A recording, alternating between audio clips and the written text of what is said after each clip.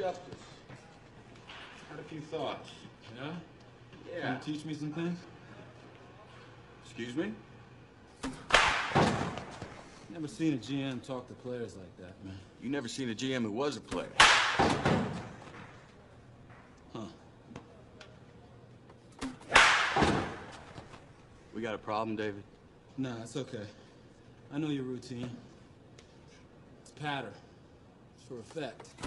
But it's for them. All right? That shit ain't for me. Oh, you're special. You're paying me seven million bucks a year, man, so... Yeah. Maybe I am, a little bit. No, man, I ain't paying you seven. Yankees are paying half your salary. That's what the New York Yankees think of you. They're paying you three and a half million dollars to play against them. Where you going with this, Billy? David, you're 37. How about you and I be honest about what each of us want out of this?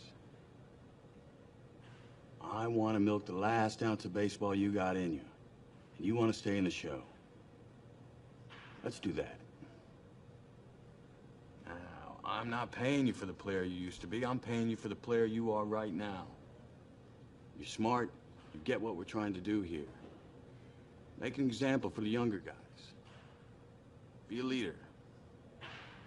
You can do that?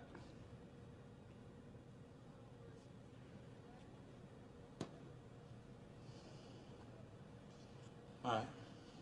I got you. We're cool? We're cool.